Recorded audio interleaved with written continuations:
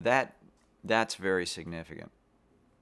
uh, to me because that means that there really uh, is a is a depth of recognition from their point at least about the importance of this kind of research.